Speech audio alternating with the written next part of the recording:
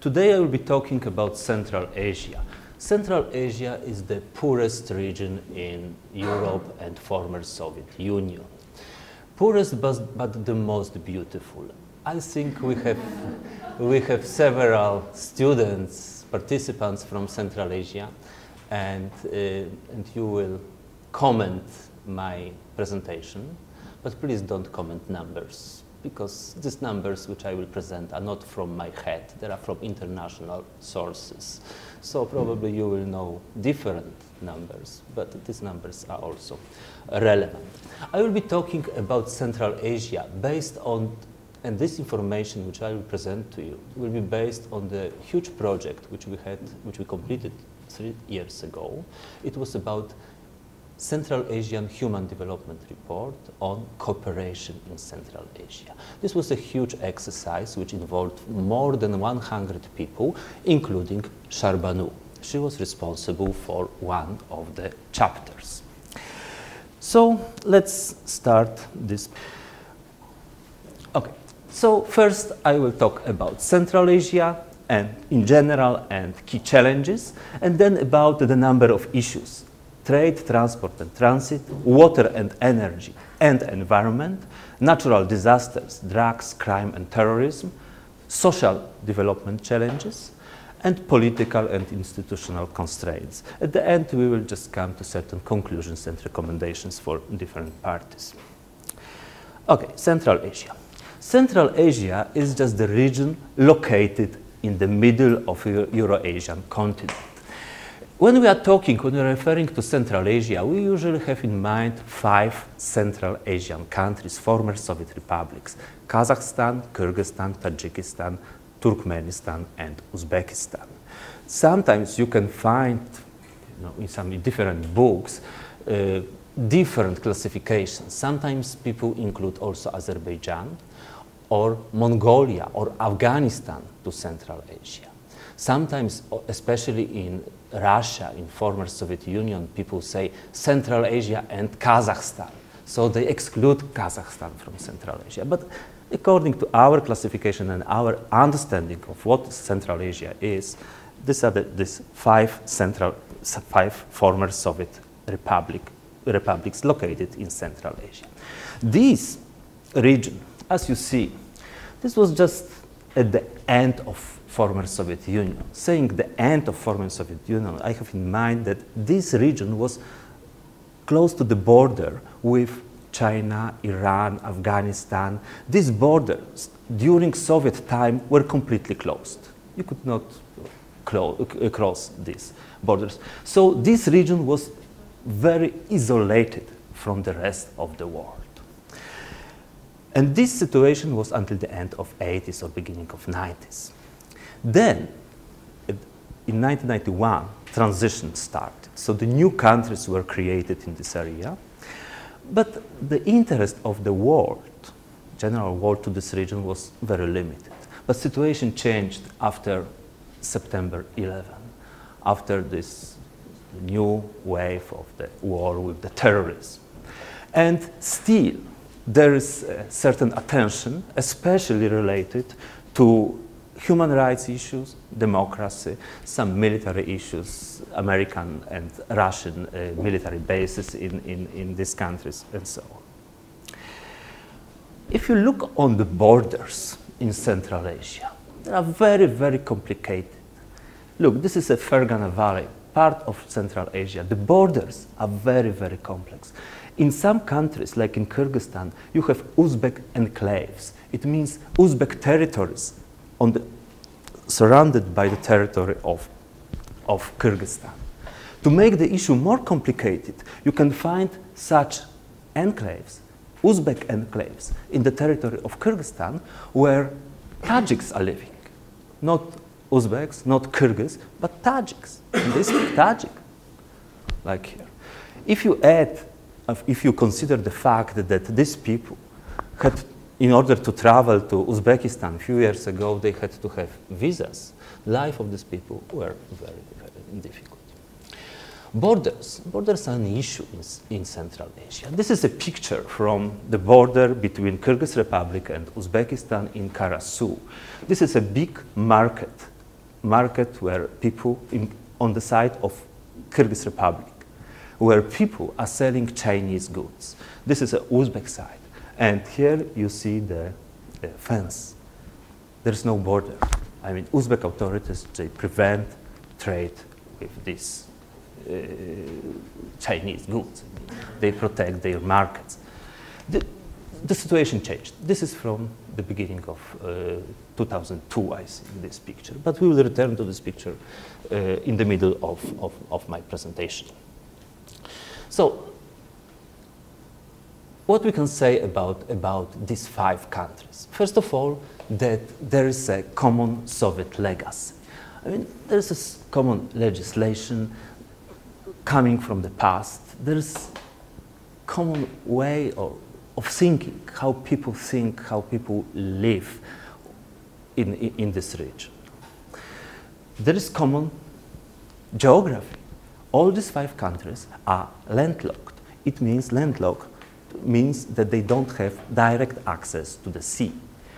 Uzbekistan is double landlocked country. It means that in order to come from Uzbekistan to the closest sea, you need to cross at least two other countries, which is very difficult and uh, negatively affects uh, trade.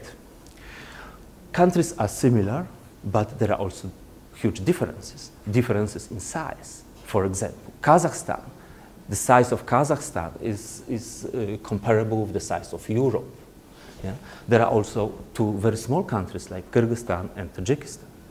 In Uzbekistan, there is more than 26 million people living there. In Kyrgyzstan and in uh, Tajikistan, there is in Turkmenistan, there is five, six, or maybe seven million people. So countries are different in, in size, population.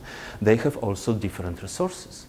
There, is, there are very rich countries like Kazakhstan with oil and gas reserves, Turkmenistan with gas and oil, Uzbekistan with everything, but this is another issue, and poor countries with like, like Tajikistan and Kyrgyzstan, which do not have gas and oil, but they have water.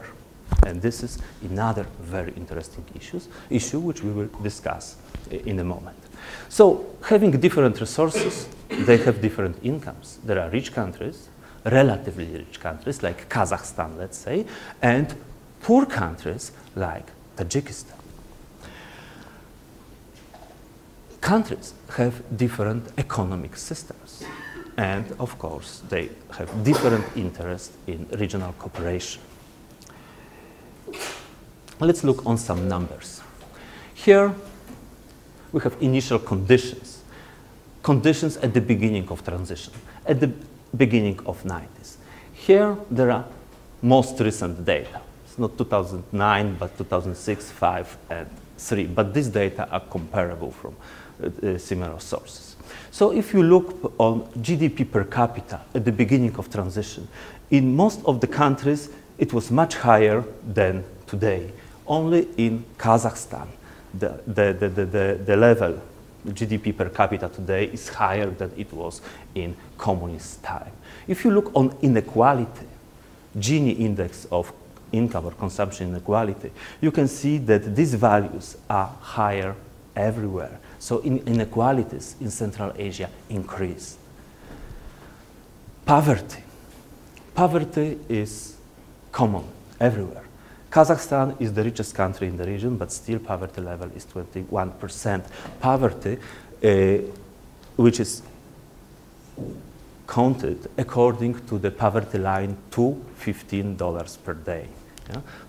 In Tajikistan, you have 74%. It means two uh, three-fourths of population is living below poverty line. These are official data from the World Bank analysis. Even if relatively rich country like Turkmenistan, country is extremely rich with huge gas reserves, poverty is 44%. These data are a few years old, so maybe the, the, the, the, poverty rate is lower, but still is, now is lower, but still is uh, very, very high. What is the message from this? that several Central Asian countries are not very different than African countries. If you look on Tajikistan, Kyrgyzstan, Uzbekistan, these countries, if you look on GDP per capita in uh, uh, purchasing power parity terms, you can see that these countries are not different than Sudan. When we are talking about, about uh, development assistance, we, you're, you're, we are usually saying, yes, we need to help to sub-Saharan Africa. Not only sub-Saharan Africa is poor, also Central Asian countries, they need international assistance. Human Development Index. I don't know whether Sharbanu brief you about the, the, the concept, but Andrei will talk about this tomorrow for sure. This is an aggregated index uh, which includes three components, GDP per, GDP per, capita, life expectancy at birth, and adult, adult literacy rate. And based on the combination of these three values, uh, there is a ranking of all countries in the world, published usually in the annex to uh, World uh, Global uh, Human Development Report. And most of the countries of Central Asia are placed in the second hundred of countries. Uh, Tajikistan is on the 122nd place out of 177 countries. The best is Kazakhstan, 73rd place. And usually when we are talking about this part of the world, we relate it to Russian Federation, which is 67, not very different from Kazakhstan, but still much, much better than other Central Asian countries. I mentioned geographical location. This is a huge disadvantage for Central Asian countries which affect trade. The closest distance to the seaports is almost 4,000 kilometers. It affects time of trade and costs of trade. To the Black Sea is 3,000 kilometers. To the main market, one of the main markets of uh, Central Asian countries, European Union, the distance is 4,000 kilometers. If you compare with African, with landlocked African countries, these are distances from capitals of landlocked African countries to the sea, and these are distances of landlocked Central Asian countries to the sea. So the conditions in this part of the world are even worse than in countries. Economic growth. At the beginning of transition, until 97, 98, there was economic decline. It means that economic conditions in each year in this part of the world were worse, worse, and worse. Only after 1999, situation changed. Countries started to grow. And this growth continued, continued until the last year. What will be this year, we will see. So what we observe, rapid economic recovery after 99, certain progress with the integration with the rest of the world, in the sense that Kyrgyzstan joined World Trade Organization in 1998, what are the benefits for these countries, for this country from World Trade Organization, from the, from the um, participation? This is another issue. The benefits are, are not very big, but still country show to the show to the, to the rest of the world that we are open, we are democratic, we appreciate uh, world or global uh, rules of trade. We observed rapid growth but rapid growth, unfortunately, based on energy and raw materials. Kazakhstan, Turkmenistan. Yeah, so situation improved, but in order to make it sustainable or to make it even better, there we need regional cooperation. We need regional cooperation. Countries need to cooperate between each other in order to grow faster, to trade between, between each other, and just to solve national and regional problems. Here we need to understand one issue. At the beginning of, of 90s, when countries, when Soviet Union break down, when new countries were established, each country wanted to be different than neighbors, just to build their, their nation, their, their country. Yeah? And this process was necessary. They introduced different currencies. They introduced borders. They introduced visas, customs, uh, army in each country. This was very, this was very costly process.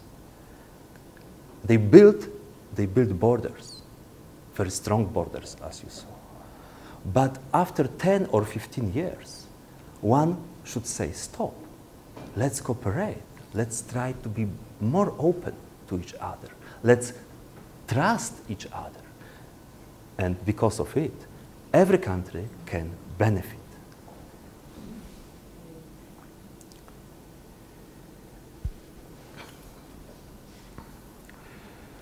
Uh, countries need to cooperate between each other in Central Asia, but also they need to be open for the cooperation with neighbors, for, with Russian Federation, with China, which is a huge market now, Iran, Afghanistan, and other countries.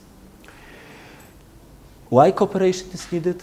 To promote trade and investment, to manage regional infrastructure, to manage water and energy nexus mix, if you want, to manage environmental health and um, other challenges. We will be talking about this in the moment. And to create more jobs for people, not necessarily in one country, but people could have possibility to migrate, to find a job, decent job in other countries. About all these issues, we wrote in the Central Asian Human Development Report. This is the best human development report which you can ever find. This for sure.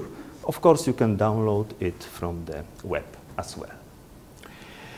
Now let's talk about selected issues, important issues for development of this region and for, for human development, in fact.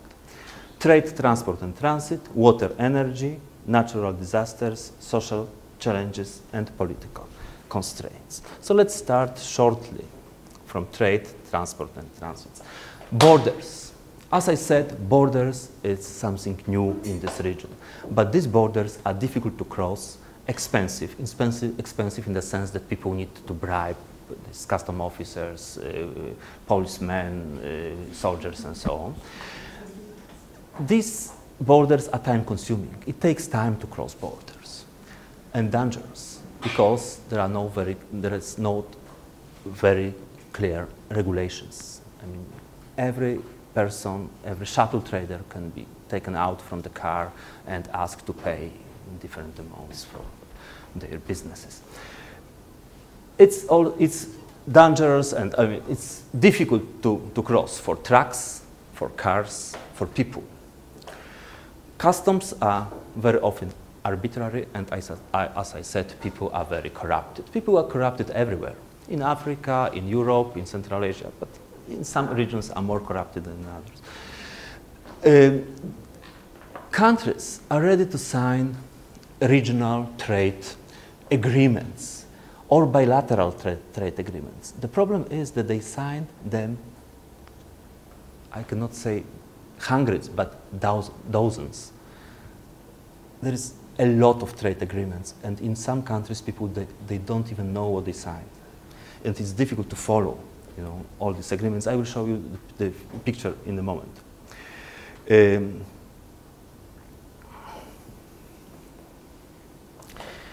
just to trade, there is, there is a need to build roads, to build, uh, to build uh, rails, and, and so on. Air transport. Air transport is underdeveloped in the region. Just to give you an example, to travel from Ashgabat to Bishkek, Ashgabat is a, a capital of Turkmenistan and Bishkek, Bishkek is a capital of, uh, of uh, Kyrgyzstan. To travel from one country, to, from one city to the other city, you, you need first to travel to Moscow, Istanbul or Frankfurt. only from the last year, there is connection to Astana and once per week, Astana uh, or to Almaty in Kazakhstan, and once per week there is a plane to, uh, to Ashgabat. So it's not, it's not easy and it's expensive. To travel from Dushanbe to, from, Tajikistan, from Tajikistan to Tashkent in Uzbekistan, neighboring countries, is also very difficult. There is no direct flight between these countries. At least one year ago, there was no, no direct flight. So one needs to think how to make life of people better.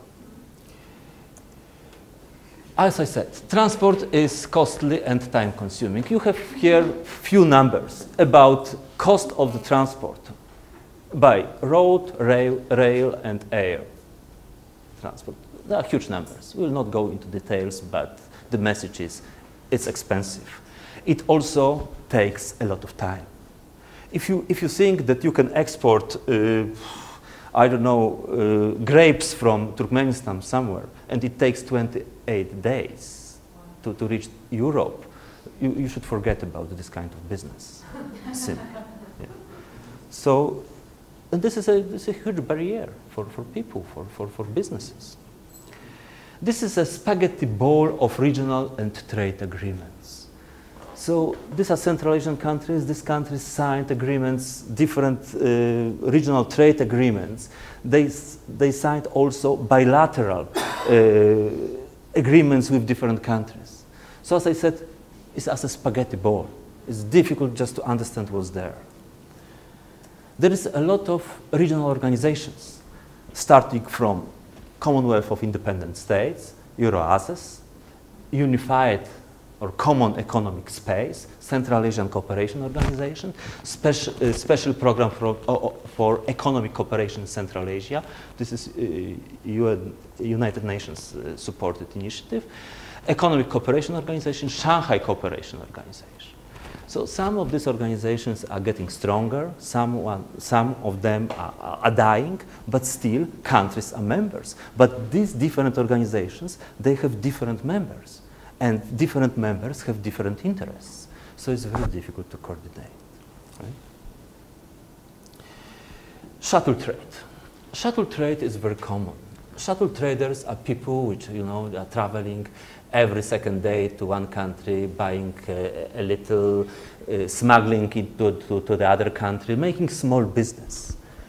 Very often illegal business in the sense that they don't pay any uh, custom duties, uh, and taxes. The problem is with shuttle trade is that these people, even if they don't pay custom duties, even if they don't pay taxes, they do not, they are not doing this business just for fun, or they don't do this business to, to become very rich. They do this business, it's very hard to do this business, because they don't have other choice. Very often, women are involved in this kind of, of activities. Why? In order to buy food, clothes for their children. So we need to understand that this is something what exists and the situation of shuttle traders is extremely bad. They can be stopped everywhere. They can be asked to pay money just in each, at each border. What we need to do with this? we need to think about good business climate and good governance. We need to, to, make, to make regulations very clear. We need to think about certain anti-corruption measures, about civil servants, transparency, accountability. Shuttle trade, once again. This is the picture which I described to you. Uzbek-Kyrgyz border at, in 2002. This is the same place, the same place, but the picture was taken in May 2005. And, the, and as you see here, there is a bridge. These bridges were built by people, not by authorities, but by people. When? Just after so-called Andijan event in Andijan, there were a lot of victims. A lot of people which were killed in the protests uh, against the authorities. So in other parts of the, of the, of the country, situation was similar. But even it, if, even it was dangerous for people, they decided to build this bridge in order to make these small businesses look to, to, to, to carry some, I don't know, small things from one country to the other, just to live, just to live. So, trade once again. If countries open borders in Central Asia, this can give huge opportunities for growth. Uh, Asian Development Bank estimated that open trade could increase uh, GDP in Central Asian countries up to 20% in big countries and even 50% in small countries like Kyrgyzstan, for example. And very often, this increase would have very positive result on poor people, will benefit poor people. Water, energy, and environment. This is another very interesting issue. This, these are pictures of Sea. You don't see a sea here. This is a, this is a desert. But a few years ago, there was a sea. And these ships were just using for fishing, for businesses. Today, there is no sea in, in, in, in, in the large part of, of, on the, of the area where few years ago there was Aral Sea.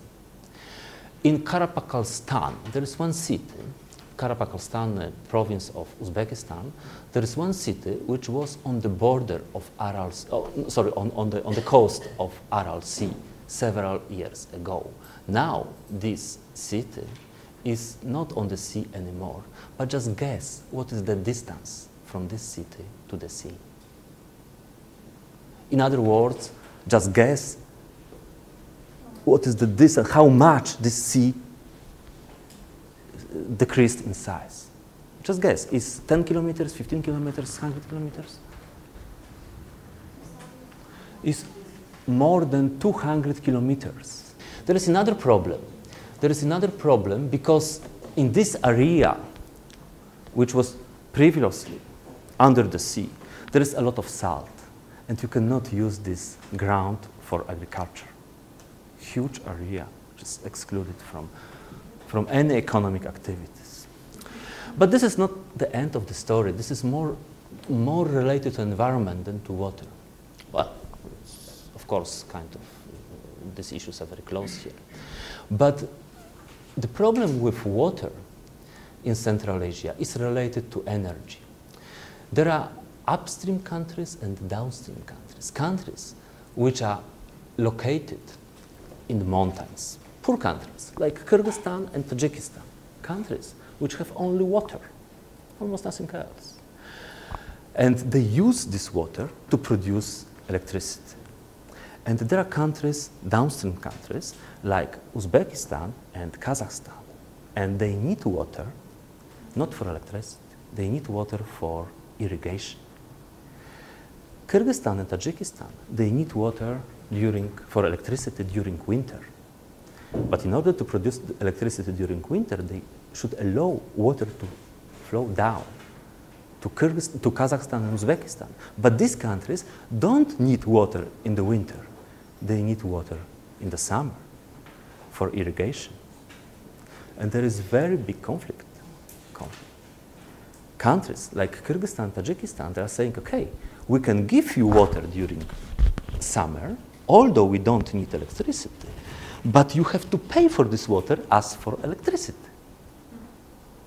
Huh? Or you should compensate us with some oil or gas.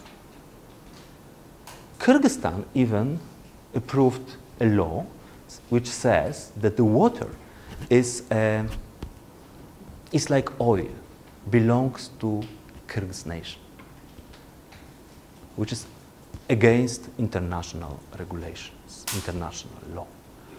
But the country says that, that water in Central Asia should be considered like oil. We don't have oil, we have water. You want our water? Just pay for it. And this creates a lot of tensions in the countries. And water is, is, is, is really like an oil. In Uzbekistan, for example, peasants, farmers, they have a graphic, they have a, they have a time schedule where they will get the water for irrigation of their, of their uh, fields, plants. And if, they if they have a water on Monday, five or six people are just walking there and back and looking whether no one is stealing this water from them. Because on Monday, the water should go to their plants. So this is, this is very, very, very important issue here. So there is, there are large water and energy resources. So a lot, there is a lot of water. Well, there is water in Central Asia, there is a lot of water in Kyrgyzstan, in Tajikistan, and there is a huge potential to produce energy and export energy, to produce energy from this water and export. But water and energy are linked and also environment is present there. They are linked and these different countries have different priorities, different interests. And this water energy nexus requires regional solution. Otherwise, countries like Uzbekistan will try to build a huge, huge uh, reserv reservoirs for, for, to store water which cost billions of dollars. We can avoid this, making agreement between countries. But it's very difficult and this problem is still not solved.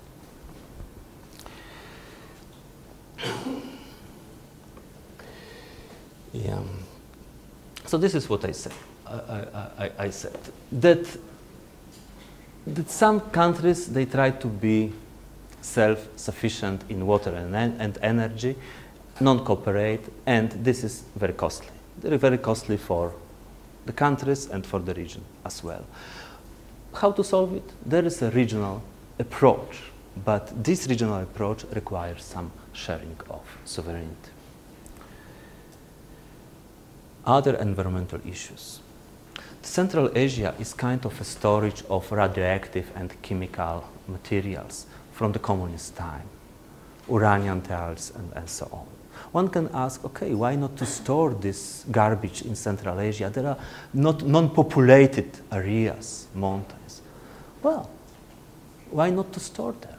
The problem is that even if people are not directly affected by, by these uh, storages of, of, of, of these uh, radioactive materials, environment may be hardly affected, affect, affected very much.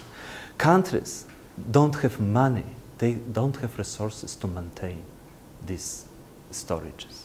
And this is already not national but international problems.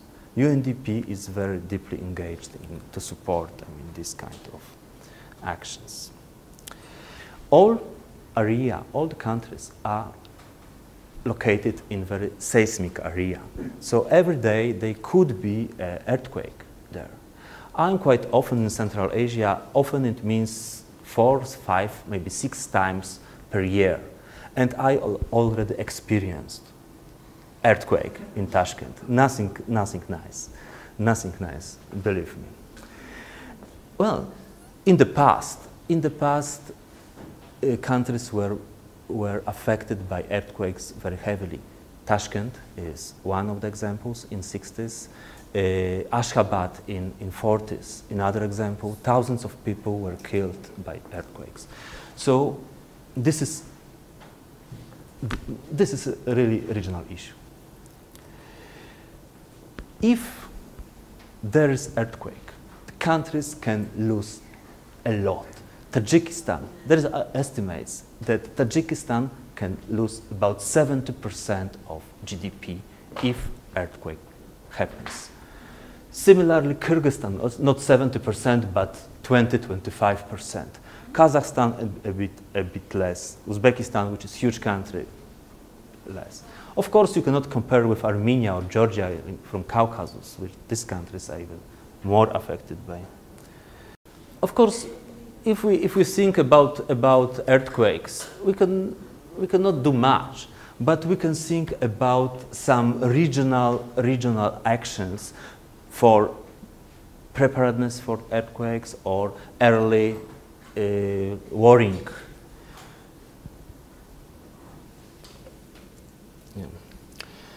Drugs.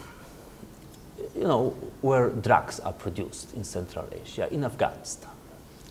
And, and all this um, and these drugs are mm, say, transported to key markets through Central Asia. From Afghanistan through Turkmenistan, Tajikistan, to Russia and Europe. People, it's of course dangerous everywhere, but people are not doing it, these poor people are not doing it just to become rich. They are doing it because they don't have other choice very often. And of course, this problem of drugs is linked very closely with HIV AIDS. This will be illustrated in the, in the movie. Crime and terrorism, always uh, drugs, there is crime. To solve it, you, we need better institutions and better governance. Of course, not very much can be done in, in the region itself the, the, the, the, key solutions lie outside the region, in the United States, in Europe, and so on. But still, but still, there is a room for thinking and having this issue in mind. Social development. Let me start from labor migration. There are countries which are developing in Central Asia, which are developing very fast, like Kazakhstan. And Kazakhstan is a place where people from Central Asia are coming to work. They are coming to, Kyrgyz, to Kazakhstan, they are coming to Russia. From where they are coming? They are coming from Tajikistan, which is the poorest country in, in the region. They are coming from Kyrgyzstan, they are coming from Uzbekistan. Uh, when you read about, about labor migration, uh, if you read economic analysis, you can find different estimates that remittances or income from sent by migrants to home countries is, let's say, 20, 50% of GDP. Or, like people say in Tajikistan, it's even 100% of GDP. In Armenia, it could be 70% of GDP. Is it good or bad? Hmm? Remittances, so big amount of remittances. Well, it's additional income which comes to, to the pockets of people. It can be spent on consumption. People in Kyrgyzstan, they say we don't have problems with poverty anymore because we have money from our migrants. Money from remittances, they also help people to solve problems with poverty in Tajikistan. Yeah, so it's good. It's good. But what will be in the next year when countries which are usually the, the, the, the uh, which usually need labor migrants like, like Kazakhstan or Russia will be affected by the crisis. They will not need migrants, labor migrants anymore these people will have to come back home. And they will not have any jobs. No one's waiting for them at home. This is one problem which can be observed next years. The other problem is with the human rights of, of labor migrants. You can see in well, people from CIS, they can see, uh, let's say, in Russian TV how uh, Russian police treats uh, migrants from uh, Azerbaijan or migrants from Tajikistan, illegal migrants. The, these people, they don't have any rights. Similarly, in, in, in, Kyrgyz, in uh, Kazakhstan, they are usually working illegally. And there, need, there should be certain regulation. I mean, these issues needs to be regulated somehow. The other issue is that there is a significant social cost of labor migration. People, usually men, are going to Kazakhstan or to Russia to work, and they are leaving their wives and children home. There are villages where there are only pensioners and women and children. It's, it's not healthy for this society. It's a source of huge conflicts, and there are children which are traveling to Russian Federation to find their parents because both of them went there to earn money. These are huge problems which are very often neglected. Economists usually look on remittances and say, oh, it's good. 100% of GDP in addition is fine. But we need also to think about social costs of labor migration. Life expectancy. At the beginning of transition, people in each country, in average, they lived longer. Now, life expectancy decreased in all the countries of Central Asia. Infant and under five mortality rates, these indicators, they also increased. So situation is worse than before. Tuberculosis. Tuberculosis is a key health problem in the region. Not HIV AIDS, which is important of course, but tuberculosis. And if you compare the size of what has been at the beginning of transition, the situation which was uh, at the beginning of transition and which is now, you can see that in some countries it's much, much worse. This is a number of uh, cases for 100,000 of population, tuberculosis cases of 100,000 of population. Just for comparison, in Czech Republic is 12, not 297, but just 12. So this is a problem for Tajikistan, huge problem, tuberculosis. Education. Education. This is just dynamics of uh, secondary enrollment in Central Asia. You can see that the situation was worse and worse until the end of uh, the last decade of uh, the 2000 uh, of 20th uh, century, and then in different countries, either situation deteriorated further or improved slightly if you look on higher education in Central Asia, here you have two patterns. One is Kazakhstan and Kyrgyzstan, where the number of people enrolled in tertiary education or higher education increased, and the rest of the countries, Turkmenistan, Uzbekistan, Tajikistan, well, in Tajikistan increased very little, but in Uzbekistan, for example, the number of students decreased significantly. Why? In these countries, there are private universities. There is a plenty of private universities, and the quality of education in these private universities is questionable, roughly speaking, questionable. In Uzbekistan, there is a different approach. The authorities are saying, no, no private universities because of the quality of education. We want to have less students, but which are getting good, uh, good quality education. And this is why this, in this country situation is worse. Turkmenistan is a special story. When we were writing this uh, uh, report, situation in this country with education was just disaster. There was no any PhD program in this country. So no one could obtain degree in, in Turkmenistan.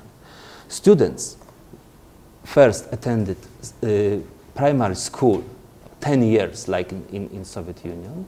Then they had to work two years, just work as a gardeners, uh, drivers or whatever. And then they had, they had opportunity to enter universities for three years. So would you like to go to the doctor which received such an education? the doctor, which was uh, two years driver and three years just studied medicine, a, it was a problem. The new president, which replaced Turkmenbashi, the first what he did, he changed the education system. Now it's much more civilized. Uh, this is we are talking about. Other issues, other issues. If we are talking about cooperation, regional cooperation, we need to, we need to have a common language, how people can communicate between each other. People in Kazakhstan, they speak Kazakh. in Turkmenistan, they speak Turkmen. In the past, they had Russian language, which was common in all the region, in all the countries of the region. Now, if you go to villages, people don't speak Russian. They understand, but they don't answer in Russian. So they are forgetting slowly, they are forgetting this language. Of course, these countries would like to be independent from Russian dominance. And it's okay, it's fine. In Kazakhstan, people should, should speak Kazakh. We don't have any objections. But if we want, if we want, if, if we want to support regional cooperation, not on very high level, but on, on small level, cooperation between people, between shuttle traders. If they want to make business in other country, they need to know the language. Of course, it would be the best if people in Central Asia could speak English. But we will wait 100 years, or maybe more, until they learn English in villages. But now, still, they have Russian. And this language should be a second language in each country, kind of a second language. In Kyrgyzstan, for example, these two languages are equal. Any law, any official document is, is printed on the page which is divided on two parts. One is in Kyrgyz, second one is in Russian. In other countries, like in Uzbekistan, all regulations are prepared, drafts are prepared in Russian. But then the final version is published in Uzbek. In Kazakhstan, everything is, is in Kazakh.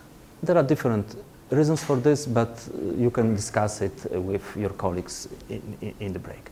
So our view is that, that countries should have their national languages, people should speak in these national languages, but still we need to keep this Russian language as a mean for communication between countries. Internet access. In all countries of Central Asia, probably except Turkmenistan, there is more or less free access to internet. In some countries it's expensive, but, but uh, there are no, no any, let's say, mm, barriers. In Turkmenistan, this, this is underdeveloped. People don't have access. Even if, even if in, in, in government, in governmental institutes, they have computers, but they don't have access to the internet. They should have. Gender issues. In the presence of Sharbanu, I will not go deeply to this, to this topic. Gender issues and the uh, situation of women is an issue in the region, and this will be illustrated in the, in the documentary. And we need to have in mind this, that the situation of women in Islamic countries needs to be taken into account. Political and institutional constraints, very quickly. Usually, when we say, when we discuss regional cooperation, we can see that there is a lot of international agreements in Central Asia signed by presidents. Everybody is ready to sign the new agreement about cooperation in the, in the region. Presidents are always willing to sign it. The only problem in Central Asia is that nothing happens after. And we usually say there is no political will for regional cooperation. But it's not about political will. This is about interest of, of people which are in the governments, in influential people. There are, there are big groups of people which are gaining from non-cooperation, from monopolistic mar markets, from closed borders, and so on.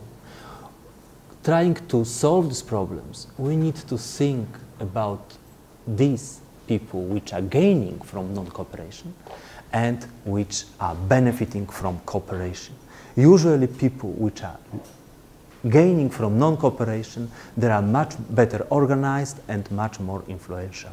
And this is why there is no really uh, progress in this, in this area.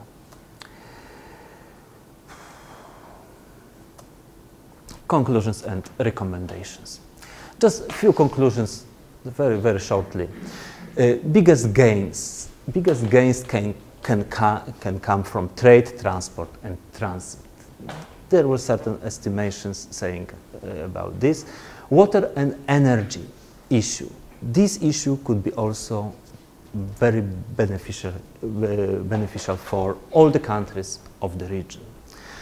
The biggest threats, natural disasters, earthquakes, floods, and so on, communi communicable diseases, and regional conflicts. Water energy nexus can lead, and crisis, economic crisis, can lead to the conflicts in the region.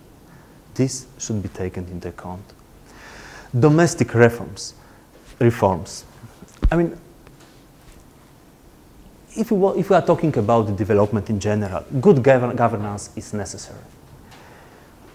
Investment climate. If foreign investors, people from the West, if they want to invest in Uzbekistan, they have very little idea about the country. What they know is, is the region. And if there is something wrong in Tajikistan, kind of, uh, I don't know, national uh, conflicts or something like that, no one will invest in Uzbekistan. So the investment climate is already a regional issue. Social, envir especially environmental policies, they, they need to be coordinated regionally. Recommendations. If we want to support regional cooperation, we need to, um, to support networking between governments, business, academia, civil society. This exchange of people or contacts of civil society, people from civil society, academicians between each between countries. They can build trust. If people don't know each other personally, they think about uh, people from different countries in very abstract terms. If they know people by face, they think about people. And this is very important for, for cooperation and building trust for cooperation. National development strategies. Each country develops national development strategies.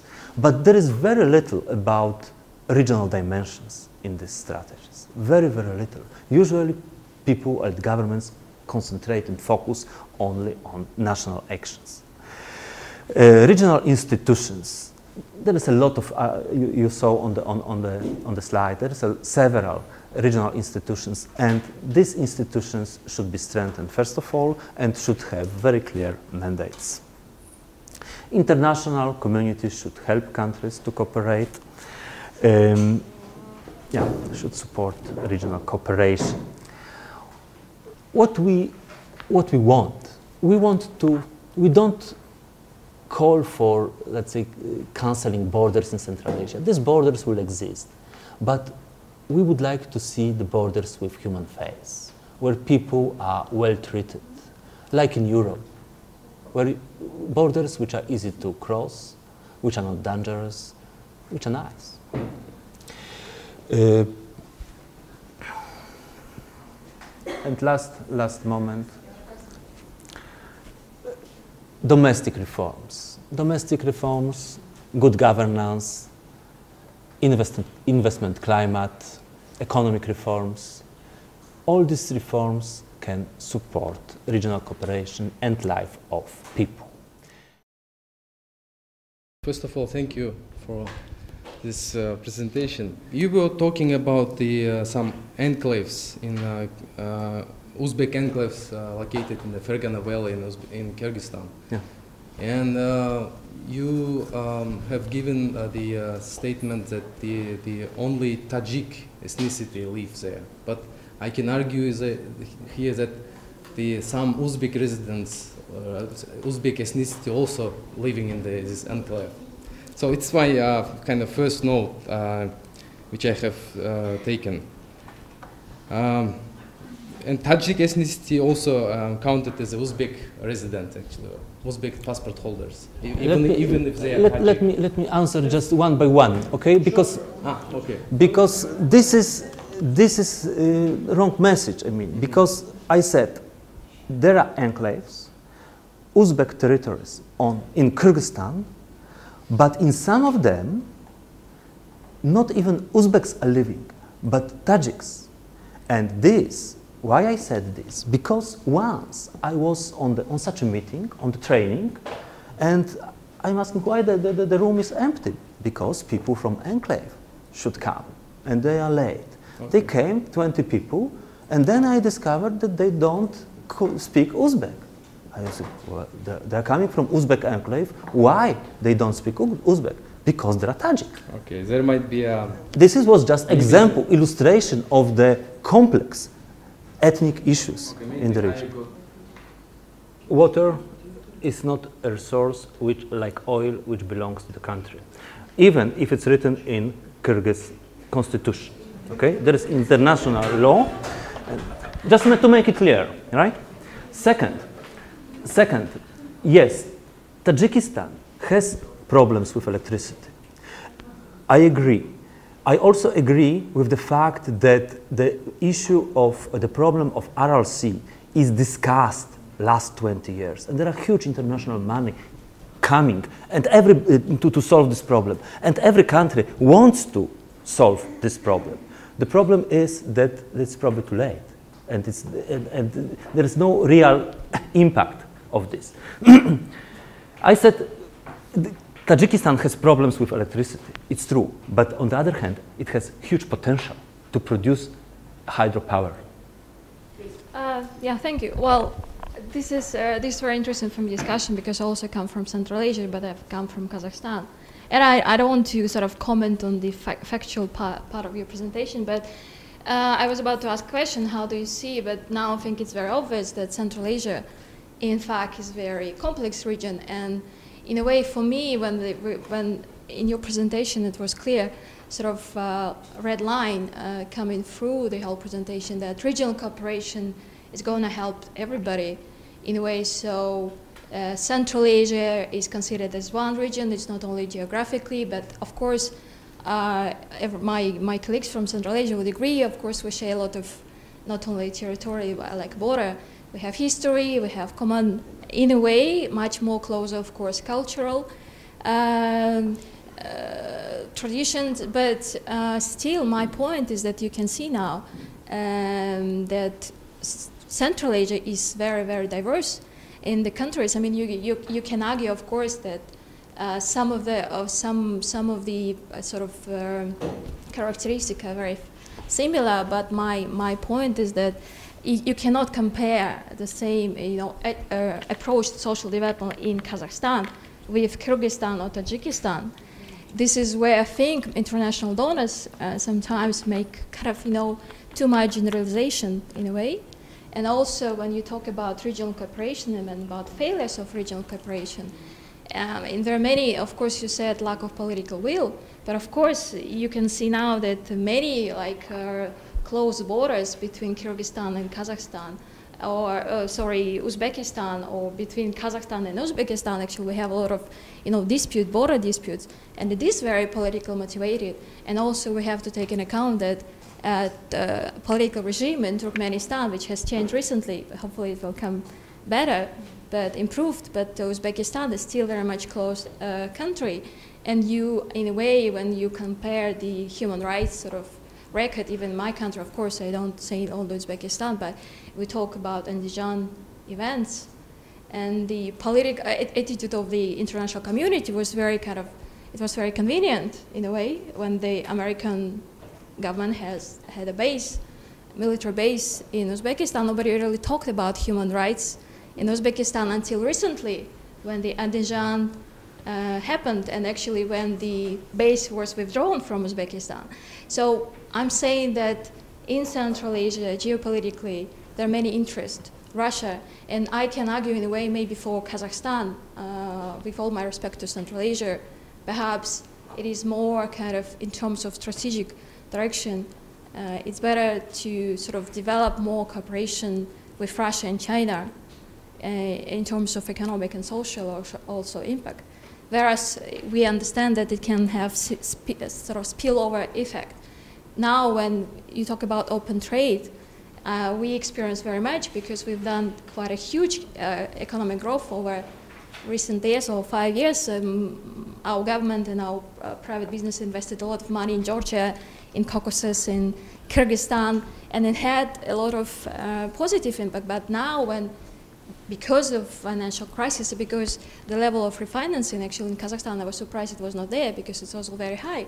External debt of Kazakhstan, now we're actually in trouble, and it's going to have, uh, of course, negative impacts on labor migrants from uh, Kyrgyzstan, from Uzbekistan.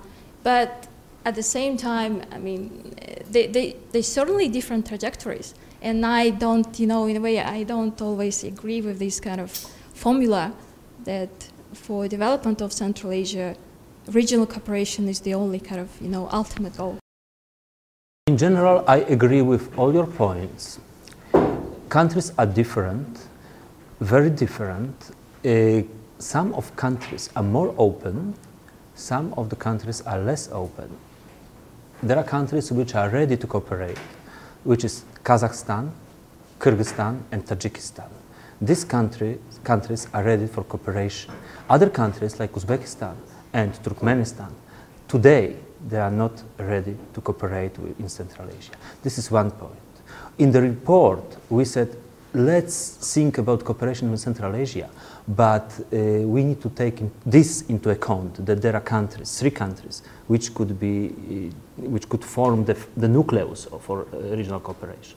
And the other countries, seeing the, the, the benefits, could join later on. This is one point. Second point, in the report we wrote countries should cooperate with all the world, should join World Trade Organization. This is the first best solution for Central Asian countries. This is a very important point. We are not saying just build borders around Central Asia. Don't cooperate with China, don't cooperate with Russia. No, Central Asia is, is a neighbor of Russia. Russia is the biggest market. You cannot think about development of this region not taking into account Russia and political interests of Russia there. Yeah? So we are not saying this. We are saying be open for the all, for the whole world, cooperate with Iran, with, with China cooperate with, with, with Russia, not only in Central Asia. This is a very important conceptual pro uh, uh, problem related to trade. Because if countries form a regional bloc for trade, only Central Asian countries, these countries, there will not be a spillover of new technologies, for example. These countries will just produce old, old-fashioned goods. But, but in general, I, I agree with, with your point. I have just kind of like a comment um, mm, about uh, the way you presented your data. Uh, so it's kind of like aside from those political and you know uh, discussion, I didn't quite agree, or maybe I didn't quite like the quote that you had about the shuttle business, and I don't know whether uh, you know. Um, you know, my colleagues from the countries that are familiar with that uh, agree or disagree, but the way you presented it, uh, is that it's something good. Well, in a way it is because it lets people survive. But you kind of encouraged it. You were talking about those people who are involved in that shuttle business as, you know, uh, you know, good people providing for you know their families and suffering from all those re regulations, and that's why uh, you know, and they're very concerned about sad eyes of the parents. But um, I don't know, I just felt that maybe you should have also included a quote uh, from those parents in Russia or, you know, um, in, from those Central Asian republics suffering because um, I believe it's not about the sad eyes that those people are concerned, but about their own profit and their own uh, just money. So I just kind of felt that, that presenting just one quote was a little bit kind of one-sided. There are thousands of people doing this business. And they are not doing it for fun, but they do, do this because they don't have other jobs. And what we want, we want them to be well treated in the borders. That, because today they don't have any rights. They, they, they ask to bribe, you know, everybody there. I mean, they, it's not fun. It's, I don't know whether you saw. But these are businessmen. They are not. They are not not shuttle traders. Shuttle trader is, is, is a person who, who has a small bag with with some peanuts inside. You know, or two bags. Sorry, two bags. Yes.